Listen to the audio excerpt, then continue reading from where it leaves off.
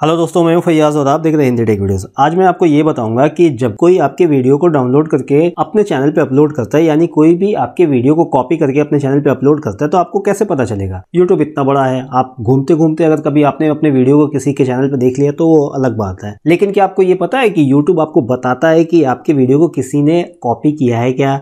आपके वीडियो को किसी ने अपने चैनल पे अपलोड किया है कि नहीं? ये सारी जानकारी यूट्यूब बताता है। इसका उलट एक और चीज़ है कि अगर आप किसी के वीडियो को कॉपी करके डाउनलोड करके अपने चैनल पे अपलोड कर लेते हैं और फिर आप ये सोचते हैं कि यूट्यूब तो बहुत बड़ा है यार, उसको कैसे पता चलेगा कि मैंने उसका डाउनलोड किया है? तो ये बिल्कुल भूल जाइए, क्योंकि यूट्यूब हर यूट्यूबर को बताता है कि उसके वीडियो को किसने कॉपी किया है, कितने परसेंट कॉपी किया है और अपने चैनल पर अपलोड किया है। ये अगर आप देखना चाहते हैं तो देखिए सिंपली आपको अपने YT स्टूडियो को ओपन करना है। अगर आप मोबाइल में ओपन कर रहे हैं तो आपको गूगल क्रोम ओपन करिए, वहाँ पे उसको डेस्कटॉप मोड में जाइए। डेस्कटॉप मोड में जाने के बाद YT स्टूडियो को ओपन कर लीजिए जब ओपन कर लेंगे तो आपके सामने कुछ इस तरह का इंटरफेस आ जाएगा जो कि अभी दिख रहा है। ठीक है, ये लैपटॉप का है। यहाँ पे लेफ़्ट साइड में आप देखेंगे तो यहाँ पे ये कॉपीराइट का ऑप्शन है। सिंपली इसे क्लिक करना है। जब आप इसे क्लिक करेंगे तो यहाँ पे वो सारी डिटेल आ जाएगी। यहाँ पे वो बताया जाएगा कि किसने आपके वीडियो को डाउनलोड करके कितना अपलोड किया है। यानी आपके वीडियो को कितना परसेंट कितने यूज़ किया है। यहाँ पे आपके वीडियो का भी लिंक होगा। उस चैनल का नाम होगा। उस चैनल ने किस डेट को आपके वीडियो को अपलोड किया था, वो डेट भी होगी।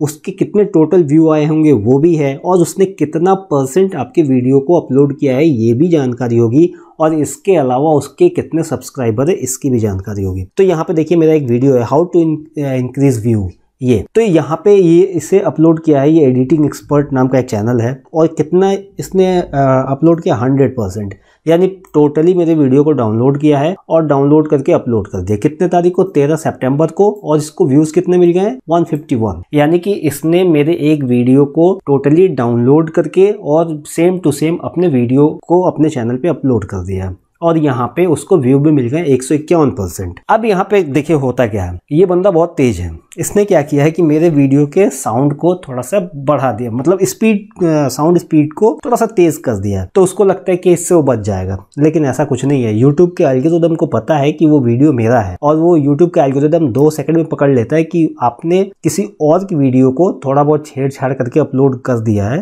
तो यूट्यूब को ये आप बेवकूफ़ नहीं बना सकते हैं। तो YouTube ने मुझे यहाँ पे ये मैसेज भेज दिया है इस जानकारी के साथ कि इस बंदे ने मेरा वीडियो यूज़ किया अब यहाँ पे मैं क्या कर सकता हूँ? यहाँ पे मैं इसको कॉपीराइट दे सकता हूँ। यहाँ पे मैं इसको रिक्वेस्ट कर सकता हूँ कि वीडियो हटा ले। दो तीन चीज़ें हैं यहाँ पे। देखिए कैसे करते हैं। अगर मैं जान, देखना चाहता हूँ, इस बंदे को मैं मैसेज देना चाहता हूँ तो देखिए यहाँ पे है। मूव टू आर्ची में कर सकता हूँ। और यहाँ पे रिक्वेस्ट वीडियो रिमूवल जब मैं इसे क्लिक करूँगा तो यहाँ पे मैं ये एक तरह से कॉपीराइट स्ट्राइक है। यहाँ से मैं इसको कॉपीराइट दे सकता हूँ, जहाँ पे मैं अपने पहले मुझे अपनी पूरी डिटेल डालनी होगी। सारी चीज़ें डालने के बाद से वीडियो रिक्वेस्ट फॉर रिमूवल करना होगा। और यहाँ पे देखिए, बहुत सारे ऑप्शन इन सबको भरना पड़ेगा। भर के मैं अगर इसको देता हूँ तो यहाँ पे ये कॉपीराइट स्ट्राइक मिलेगा इसको। यहाँ पे मैसेज का ऑप्शन है कॉन्टेक्ट चैनल जब आप इसे क्लिक करेंगे तो यहाँ पे आपका एक बना बनाया मैसेज आ जाएगा यूट्यूब की तरफ़ से, जिसमें आपको यहाँ पे अपना ईमेल आईडी भरना है और सिंपली सेंड बटन को क्लिक कर देना जैसे आप ईमेल आईडी भरेंगे, नीचे यहाँ पे सेंड का ऑप्शन आ जाएगा। सेंड बटन क्लिक करेंगे और उस बंदे के पास ये मैसेज चला जाएगा कि, भाई, तुमने मेरे इस वीडियो को